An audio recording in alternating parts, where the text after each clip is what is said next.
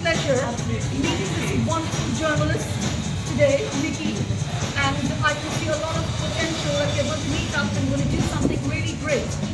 Uh, wonderful person, wonderful personality, and so thank you so much for all your beautiful words. Thank you so much. Thank you so much.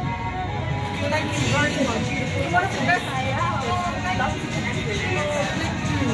And it's been a pleasure. You actually made my day. You made my day.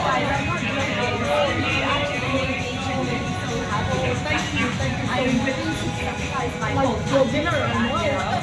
Thank you. Thank you very much. Yeah. She looks lovely.